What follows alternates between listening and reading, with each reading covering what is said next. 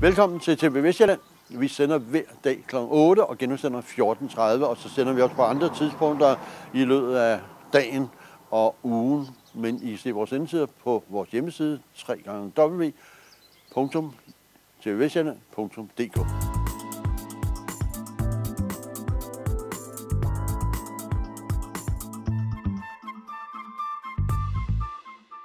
En brækket arm eller et brækket ben, det ved man hvad er. Men hvis man går med noget indeni psykisk, så ved man det ikke. Og man har det på mig til. Folk kan ikke se, at man er syg. Folk kan, ved det ikke. Men der er en dame, hun har skrevet en bog. Hun har været ansat i jobcenter, hun har været ansat forskellige steder, og hun kan hjælpe dem, der går, og som har haft en forfærdelig barndom. Det kan være øh, tæv, det kan være, at de er blevet misbrugt, en spændende dame, som er bestemt er ved at besøge. Marianne, du har skrevet en øh, bog, meget speciel bog. Hvad er det for en bog? Jamen, øh, det er en bog, som henvender sig til folk, som har depression, stress og angst. Øh, den hedder Bliv ven med dig selv. En vej ud af stress, depression og angst. Og grunden til, at den hedder Bliv ven med dig selv, det er blandt andet, fordi noget af det første, jeg snakker med folk om, det er, hvordan er det egentlig, du taler til dig selv? Og så ser folk sådan helt forvirret ud, ikke? Jeg siger, jeg taler til, til dig selv, ligesom hvis det var din bedste ven. Øh, nej, det gør jeg nok ikke, vel? Hvordan ville din bedste ven få det, hvis du talte på samme måde til ham eller hende, som du taler til dig selv? Jamen nok ikke godt. Okay, der er en, der lytter, når du taler til dig selv, og det er dig. Så, det, må, det må du lige uddybe. Vil det sige, at hvis man går sådan og tænker, øh, ah, det er også for dårligt, at øh, jeg skulle betale så meget hos bageren, øh, Øh, eller det er også ærgerligt, jeg ikke kan nå det. Er det sådan noget, man går og tænker på? Ja, eller måske endnu mere, ej, hvor er jeg også en klovn, og hvorfor gjorde jeg ikke? Og jeg burde da også have sagt, og nu må jeg også tage mig sammen. Ikke? Vi går og er rigtig kritiske over for os selv. Og det får vi da faktisk ikke særlig godt af. Det hjælper ikke. Og i, i, i yderste konsekvens, hvis vi er meget hårde ved os selv, så kan vi øh, virkelig lægge brænde på bålet til en god depression. Så, så det er meget vigtigt, det, og det er virkelig også et sted, hvor vi selv kan gøre noget. Fordi hvis jeg begynder at opdage, hvordan jeg taler til mig selv, så kan jeg jo begynde at lave om på det. Så jeg har faktisk en mulighed for at gøre noget. Når man kører hjem fra en fest ja. og holdt en tale til konfirmation og konfirmanden, ja. så sidder man og tænker, jeg skal også have sagt det, jeg skal også have sagt det. Er det sådan noget? Det kan det godt være. Ikke? Så, så det første, du kunne gøre, når du kørte hjem, det var at sige, wow, jeg fik rejst mig op og sagt noget til den her konfirmand. Og så kunne det være, at du tænkte, næste gang jeg skal holde en tale, så skal jeg lige huske at sige sådan, eller lade være med et eller andet. Ikke? Så har du lært noget af det, men stadigvæk anerkendt dig selv for, at du gjorde det. Og der var sikkert nogen, der blev glade for det. Og øh, når så man går hjemmefra og smækker med døren og går og tænker, ej, ægtefælde er også et værre, uanset om man er kvinde eller mand, øh, kan man så ved at læse en bog sådan tænke, ej, hvor var det godt, jeg slakker sted med hende? altså, det, det, det, det, det er jo et stort spørgsmål, tænker jeg. Altså, ej, det er lidt drilsk. ja, ja, fordi øh, den kan jo ikke løse alle dine relationer. Men øh, du kan jo i hvert fald overveje, hvorfor, hvorfor er det egentlig, du bor sammen med hende, hvad er det egentlig, du godt kan lide? For selvfølgelig kan vi blive uvenner og blive vrede på hinanden, og det, skal der, det må vi, at det er jo en følelse, og selvfølgelig må vi blive vrede og kede af det osv. Men, men vi skal bare huske den anden side af det også, og det glemmer vi nogle gange. Om, hvad er det egentlig, jeg godt kan lide? Hvad er det, jeg var glad for? Så kan det være, når du kommer hjem, så er du kommet i tanke om, jamen, jeg kan jo egentlig rigtig godt lide hende. Jeg blev bare lige irriteret over den der lille ting, ikke? Og så kommer du ind med en anden attitude, end du gik. Så det du i virkeligheden gør, det er, at du fortæller folk, at de skal have nogle positive tanker? Øh, det er noget af det, jeg gør. Ikke? Det er, at jeg siger, at de skal være opmærksomme på, hvad de, hvad de siger til sig selv, fordi tanker bliver til følelser, og det bliver til handlinger, og det kommer til at fylde. Det vi har fokus på i vores liv, der hvor vi har opmærksomheden, det er det, der bliver vores liv. Og nogle gange, så er det ligesom, vi kigger gennem et nøglehul. Hvis du kigger ind i et rum, du ser jo kun noget af det. Og hvis du har vendet dig til at se problemerne og det negative, så er det kun det, du ser. Så, er det godt at åbne døren og se alt det andet også. Det er jo ikke fordi problemerne ikke er der, og vi, selvfølgelig skal vi tage os af dem, så vi skal ikke, det er ikke fordi vi skal gemme det væk og fortrænge det. Vi skal bare huske, at der også er alt det andet. Men Marianne, dem der kommer til dig, det må være nogen, der har overskud til at erkende, at de har, øh, har det skidt. Hvorimod dem, der måske har rigtig meget behov for dig, øh, ikke har overskud til at opfylde Både ja og nej, fordi der kommer mange forskellige hos mig, og det er, jo, det er jo dem, der virkelig, det er også dem, der virkelig har det rigtig, rigtig dårligt, og siger, nej, nu må der ske noget, og så får de taget sig sammen til at ringe. Men det er jo rigtigt, du har ret i, at der sidder helt sikkert rigtig mange derhjemme, øh, og ikke får hjælp, fordi de ikke får ragt ud. Jeg, mødte, jeg har arbejdet på jobcenteret og, og haft grupper med de her problemer, ikke? og der mødte jeg jo mange, der har siddet frygteligt alene derhjemme, og er flove over, at de har det, som de har det. Og der er mit budskab med bogen også at sige, jamen du er ikke alene, der er jo så forfærdeligt mange mennesker i det her land, som er stressede og har depression desværre. Og det er ikke noget med, at, at så er man et dårligt menneske, eller man er forkert, eller svag. Det har slet ikke noget med det at gøre. Det er bare dig, der er blevet ramt nu. Og så er det rigtig vigtigt også at vide, at der er noget at gøre, og du kan få hjælp, og du kan få det godt igen. For, for et par måneder siden, der sagde jeg, at øh, Københavns Radio, de øh, to måneder før, begynder de at tale om, at de bliver stresset med alt det, de skal nå til jul. Ja. Øhm, og de har arbejder 37 timer. Dem, der arbejder 80 timer om ugen, de er ikke stresset, de når meget mere. Hvad er det for en mekanisme? Er det simpelthen, når man går og bilder sig selv ind, man er stresset? Det kan det godt være. Altså stress er jo noget, vi siger, ikke? Så jeg kan sige, I var jeg stresset i dag, men det var virkelig ikke noget med stress at gøre på den måde. Tit betyder det bare, at jeg har travlt. Så stress, når du virkelig bliver syg af stress, så har det jo noget at gøre med, at du har alt for meget at lave.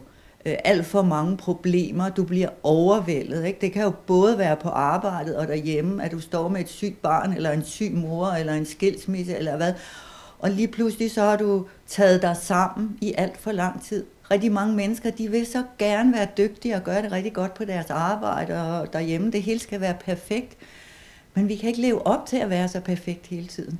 Så hvis vi, hvis vi hele tiden både presser, der er jo et ydre pres, det kan vi ikke komme udenom, men hvis vi så også har et indre pres om, at jeg skal være perfekt til det hele, så bliver det lige pludselig for meget, og en eller anden dag knækker filmen. Svært at sige hvornår, men de færreste kan tåle det pres i lang tid. Og så bliver de lige pludselig syge, så kan de ikke mere. Er der et eller andet signal, man skal være opmærksom på, så man siger, øh, ah, nu, nu må jeg lige stoppe op?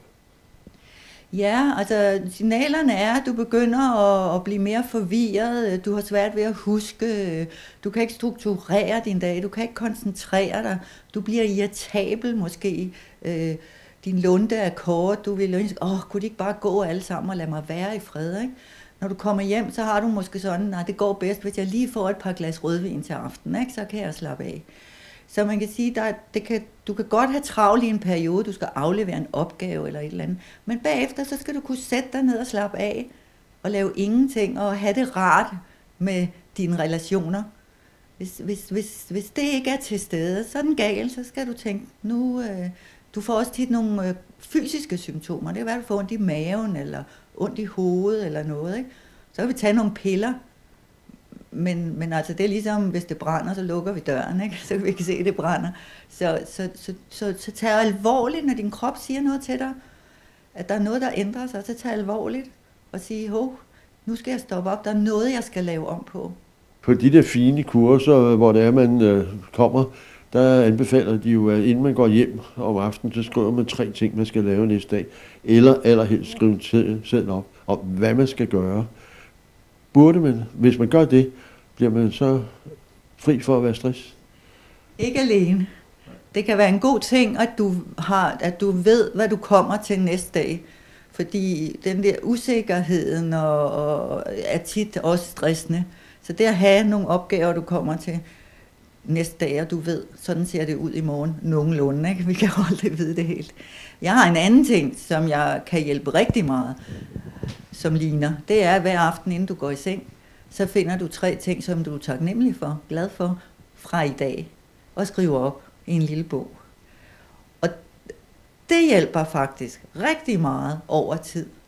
Og det er fordi, det hjælper dig igen med at få fokus hen på det, du har været taknemmelig for og være glad for. Problemerne, dem, dem glemmer vi ikke, dem skal vi nok opdage.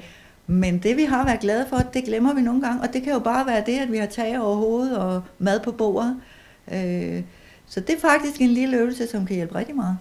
Det skal ikke, du siger det, fordi der er forældre, som jeg har hørt, sætter sig ned med børnene ved sengen, inden de siger godnat til børn.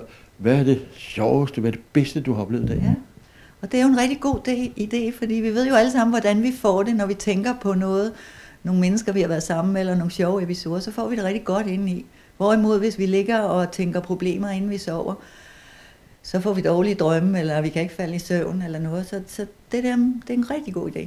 Vi mødtes øh, til et netværksmøde i Kalundborg Erhvervsråd, og der sad vi sammen med en dame, som øh, skulle hjælpe øh, ledige øh, i job og sådan noget. Mm. Og øh, der talte de sammen om, at jamen, jeg kan, vi kan samarbejde, og øh, ved at læse min bog, så kan de, der måske synes, øh, det er tosset alt sammen, mm. kan blive hjulpet. Ja, men altså min bog er jo skrevet ud fra, at jeg har haft sådan nogle samtalegrupper i jobcentret, og de redskaber, der er beskrevet i, i bogen, er dem, jeg gav til de grupper. Og der så jeg, at langt de fleste faktisk blev raske, når de havde været igennem et gruppe, gruppeforløb. Så, så der er helt sikkert uh, ting, der kan, masser af redskaber, der kan hjælpe dem, som står og ikke rigtig kan komme i arbejde.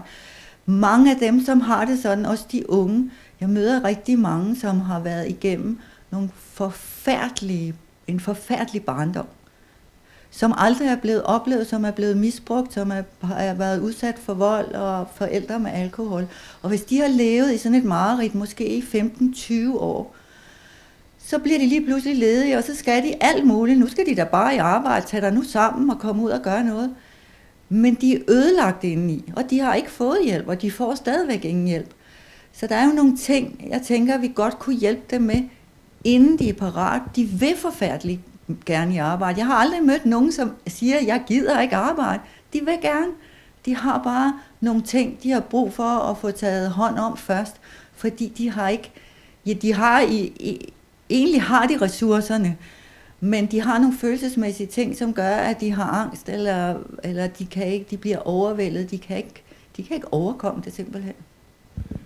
Burde det, der ikke være et indlæg for dig på alle de hold, øh, arbejdsformidling eller skolerne og sådan noget øh, laver, altså at du så kommer og fortæller om det der, og så siger, forærer dem bogen, så de kan gå hjem og blive øh, lidt anderledes. Det ville være rigtig godt, hvis, hvis, øh, hvis, hvis, ja, hvis sådan en som mig kunne komme og lave et oplæg. Men i det tilfælde er et oplæg selvfølgelig ikke nok. De har nogle ting, de skal have, have bearbejdet og, og taget hånd om, inden de når videre. Og det ville være godt, hvis de kunne få det tilbud. Nej, men der står så en og fortæller, at øh, det er ikke dig, der er problemet, det er din fortid, det er dine forældre, de skulle aldrig have haft dig. ja, men det er, ikke, det er ikke helt på den måde, vel? Fordi, fordi fortiden er jo fortid, så det er jo her og nu, og det jeg synes, jeg fortæller, det er, at du har en mulighed for at lægge det bag dig. Du kan faktisk selv gøre noget. Jeg har faktisk et, et kapitel i min bog, der hedder, at du kan skrive din historie om. Du kan selvfølgelig ikke lave om på det, der er sket, men du kan lave om på, hvordan du ser på det, der er sket. Det skal du have hjælp til. Det er jo ikke noget, du gør med et fingerknips. Men det kan lade sig gøre at få, hvad skal vi sige, sluttet fred med det, der er sket. Men det er en proces, du skal igennem. Og når du har sluttet fred med det, så kan du komme videre, så får du flere ressourcer. Du får dine ressourcer tilbage, kan man sige. Så du kan gøre noget selv, men du er selvfølgelig påvirket af det, du kommer fra. Men øh, der kommer en arbejdsløs, som ikke dur til noget som helst. Det ved han. Øh, kommer ind til en arbejdsgiver, og øh, arbejdsgiveren tænker, ham kan jeg så ikke bruge, fordi Nej. han virker overhovedet ikke motiveret. Nej. Og han ved på forhånd, at han får ikke jobbet. Nej. Så han skal jo motiveres på en anden måde. Ikke? Han, skal, han, han skal igennem øh, et forløb, hvor man, man får talt om, hvad, hvordan er det, du har det, og hvad er det for et problem, du har, og, og klæder ham på til at gå ud og søge job. Hvilket jeg også godt ved, at, at, at, at mange jobcentre gør på forskellige måder. Ja, men jobcenter har ikke overskud til det på samme måde som øh, andre, fordi de har måske, de er jo overbebyrdet også med, med mange mennesker, ikke? så de kan jo ikke gøre det, som du godt kunne tænke dig, de gjorde. Mm. Nej, for jobcenter laver heller ikke behandling, vel? De kan lave motivationskurser og, og, og, og lære folk, hvordan man søger job og så videre. Men, men, men hvis der sidder en lille dreng eller pige inde i, som har været udsat for tæsk i 15 år, ikke?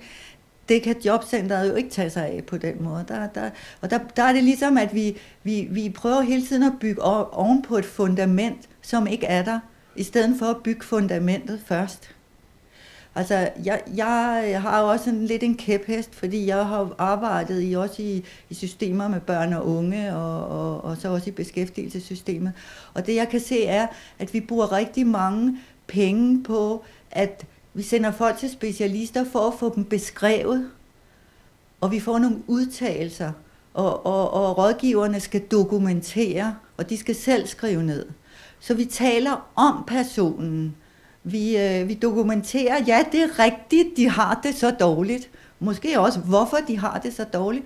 Og så gør vi ikke mere, for vi har brugt alle pengene til at beskrive og dokumentere, hvor vi en, en, sådan en speciel udtalelse kan måske koste 10 eller 15.000 kroner. Tænk, hvor mange terapitimer de kunne have fået for de penge, og fået behandling, så de kunne blive raske i stedet for. Men det er jo loven, der hele tiden kræver, at vi skal dokumentere, hvorfor folk er i systemet. Ja. Er det sådan, det er? Det synes jeg. Det synes jeg. Og det er jo, der, det er jo velmenende mennesker, der sidder. Altså, der er jo sindssygt mange dygtige socialrådgivere, og ja, i, i dem, der arbejder med mennesker. De gør det jo, fordi de gerne vil hjælpe. Men der er jo en lov, som siger, at de skal gøre ting på en bestemt måde, og de skal have deres ryg fri. De skal kunne, øh, de skal kunne dokumentere, hvis du kommer og jeg er socialrådgiver, så skal jeg jo dokumentere, hvorfor, hvorfor giver jeg dig lov til at være på sygedagpenge, eller hvorfor siger jeg til dig, det kan du ikke være mere, nu, skal du, øh, nu må du raskmeldes, ikke? Og for at få det, så må jeg jo sende, bede nogle læger om at udtale sig, og måske må jeg sende dig hen til en speciallæge. uanset om det er, du har depression, eller det er din ryg, eller hvad det nu er, ikke? så bruger vi... Øh, så det bruger vi rigtig mange penge på, og man kan sige, især på det psykiske område, for det er klart, hvis du har dårlig ryg, så kan du komme, så kan du blive scannet og så videre, og man kan finde ud af, hvad det er, og så kan du måske blive behandlet. Ikke? Men med det, på det psykiske område, der kniver det lidt mere, fordi, fordi der får vi beskrevet folk. Men jeg møder rigtig mange mennesker, som har været syge i mange år, de har aldrig fået hjælp. Så kommer de måske til psykiater, og der er øh, cirka et års ventetid. Og hvis de kommer til psykiater, får de sandsynligvis medicin, men de får jo ikke terapi. Og medicinen kan hjælpe nogen, det dulmer, men igen, det er lige, igen det der med branden og lukke døren. Fordi det er fint nok at få medicin, hvis, hvis, hvis det kan hjælpe dem til at få lidt mere ro ind i, men det løser bare ikke problemet. Øhm, så, så nej, vi, vi bruger penge. Jeg synes, vi bruger pengene forkert. Hvorfor er der års ventetid for at komme til behandling? Ja, det, jeg, kan, kan jo ikke, jeg kan jo ikke sige andet end, hvad jeg tror. Det må være, fordi der er for få psykiater, og fordi øh, der er alt for mange, der får psykiske problemer. Ja. Hvad kan vi gøre ved det? Det nærliggende er at sige, at vi kunne ansætte flere psykiater, ikke? Det kunne vi også godt lige nu. Det ville Nej, være men, men betaler, øh, dem, der kommer til dig, de betaler selv, ikke? Jo, ja. det gør de. Øh, men dem, du skal have fat i, det er dem, der ikke har nogen penge. Ja, og det er virkelig et dilemma. Det er helt sikkert. Der vil helt sikkert være mange, der ikke har råd til at komme til mig, fordi, øh, fordi de ikke har penge nok. Også selvom jeg giver rabatter til nogle af dem, der ikke har så mange penge. Ikke? Og det var noget af det gode i, i, i jobcenter. Det var jo, at dem, jeg havde i grupperne, der, der var det jo... Øh, altså, de fik der havde du værktøjet? Der havde jeg værktøjet, de fik det jo igennem jobcenter, de skulle ikke selv betale, vel? Så, så, øh, så det, det, det er et meget stort dilemma.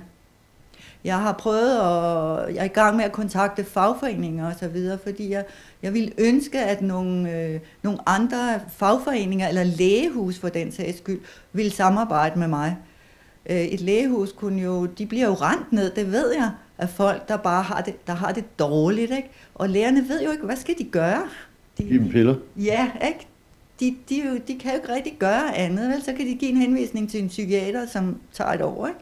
Ja. Øh, så, så de kunne have sådan en som mig, ligesom de har en sygeplejerske til, til nogle ting, ikke? Som, øh, som man faktisk kunne tilbyde dem noget, der hjalp. Øh, og, og fagforeningerne kunne for den sags skyld lave nogle forløb, fordi, øh, for, for nogle af deres sygemeldte borgere, ikke? fordi det vil være en, en, det vil være en fordel for alle. Det er jo både et fordel for personen og for samfundet, at vi får givet folk nogle redskaber, så de kan blive raske. Så når man sidder ved middagsbordet derhjemme og øh, banker i bordet, så siger der er alt for meget salt igen i suppen, så skal ægtefælden stille og roligt sige næste morgen, ved du hvad, skulle du ikke besøge Marianne? Ja, det kunne da godt være. Tit så er det, så er det, altså, så er det altså ægtefælden eller kollegaerne, der først ser, at en person er stresset. Ja, selvfølgelig, fordi jeg fejler ikke noget. Nej, du fejler ikke. Du har bare lidt travlt, ikke? Om et par uger, så bliver det bedre. Det er typisk svar, ikke? Nej, nej, jeg fejler ikke noget. Så, så det er tit andre, der skal sige, ved du hvad, jeg kan mærke, der er noget galt her. Jeg synes, du skulle få lidt hjælp, inden du bliver syg. Ikke? Fordi der er jo stresssymptomer lige præcis, inden du bliver syg, kan man sige, af det. Ikke?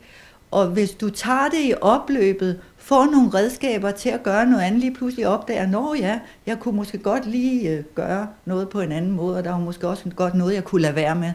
Så kan du gøre noget ved det, og så kan du rimelig hurtigt blive rask igen. Hvorimod, hvis du virkelig, øh, den, når den dag du vågner op og ikke kan komme ud af sengen, og du bare ligger og græder, og he, hele verden er imod dig, så kan der være lang vej, så kan der måske være et års sygemelding foran dig, før du kan, kan komme i gang igen. Så det, det er rigtig vigtigt at tage det i opløbet. Siden 1983 har uh, Nette og uh, John lavet nisser, og uh, de laver alt fra bunden. Deres mad her i caféen, det er også alt fra bunden, der er uh, hjemmelavet her. Et utroligt sted, og uh, man kan stå her i rigtig lang tid og kigge på alle de der små detaljer. Øhm, Rødovre Centre, de har været her og uh, taget billeder til deres uh, katalog, som er udsendt i 190.000 eksemplarer. John, Rødovre Centrum, de har sendt 190.000 kataloger ud med ungdomsbilleder af, af Nette og dig, øh, og de har været heroppe og filme. Hvorfor har de fået den idé? Jamen det er jo fordi, at vi har været nogle gode leverandører til øh, Rødovre Centret igennem øh, rigtig mange år. Men altså, om det lige frem er ungdomsbilleder af os, det synes jeg nu ikke, det er.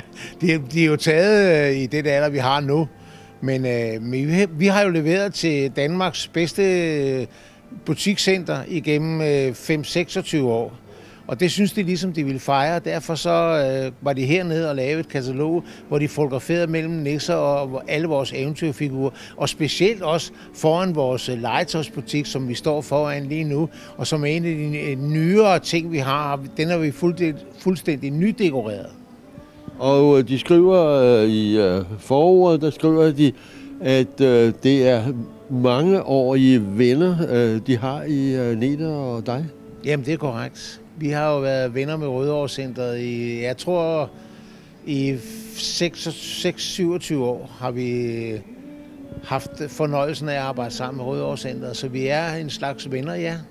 Neder og dig gik amok i 1983, fordi øh, der var noget, I ikke ville finde jer i. Ja, det var da Stormagasinet i København holdt op med at have mekaniske juleudstillinger. Og Nette og mig havde jo selv stået med næsen trykket op imod ruden og kigget på det der, ikke?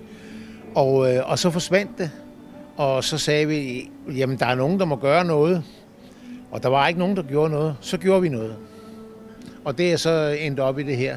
Vi har været lavet mekaniske julenisser lige siden. Vi har været i, øh, vi har været i Japan, vi har været i Liseberg i Sverige i øh, 11 år, og vi har lavet nogle store julestillinger inde i Tivoli i, i 5 år, 6 år, og været, i det hele taget været rundt i samtlige butikscentre i Kongeriget Danmark. Det er sådan, at det er mig, der skulpturerer hovederne, og jeg laver så de mekaniske bevægelser.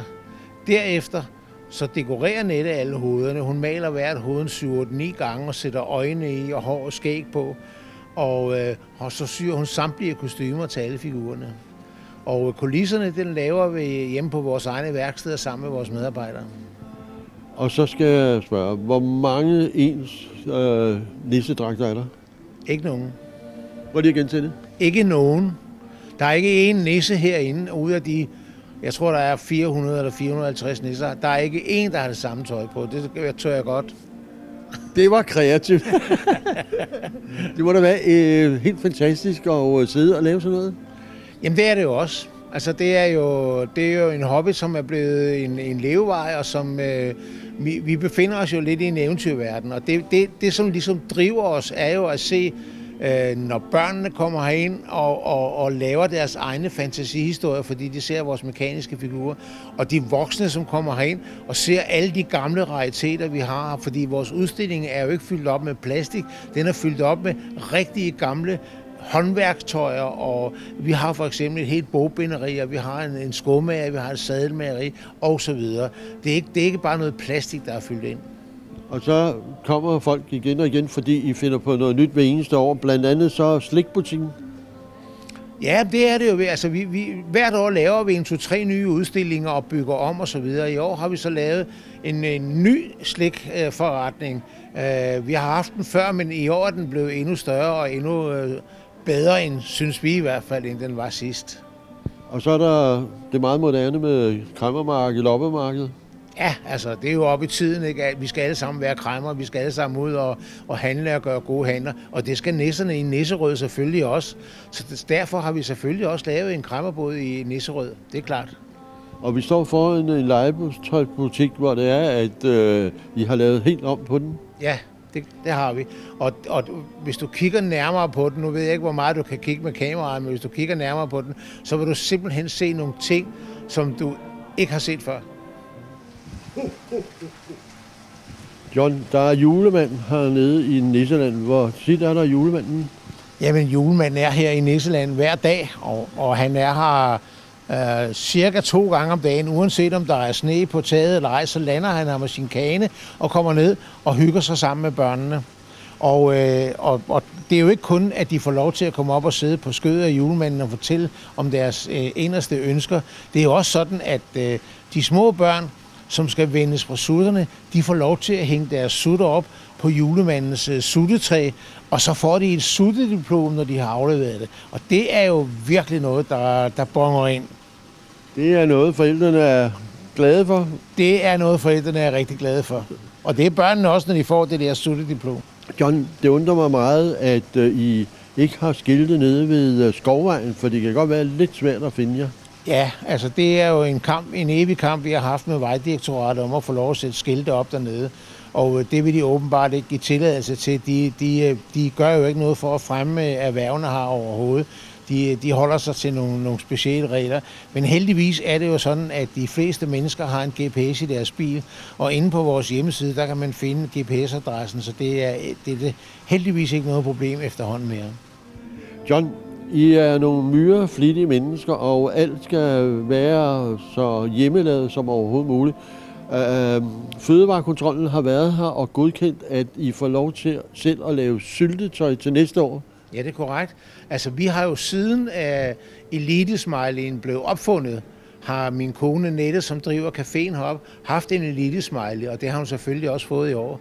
Og så snakkede hun med øh, fødevarekontrollen om at få lov til at sælge nogle af sine hjemmelavede marmelade og syltetøj og sådan noget, fordi øh, Nette har lavet hjemmelavede ting i mange år, og, og så har vi brugt det som gaver til venner og bekendte, og så har de sagt, hvorfor sælger I det ikke? Ja, men øh, hvordan gør man det? Men det er der åbenbart ikke nogen problemer i, så det begynder vi nu at sælge heroppe i caféen. Jamen, det er fordi, jeres køkken er godkendt til det. Hvad var? Jeres køkken er godkendt Ja, til det. selvfølgelig. Det er klart, det er, det, det er en nødvendighed for at kunne gøre de der ting. Og det hun gør, er jo, at øh, hun er uddannet økonom, så hun ved noget om øh, fødevarer.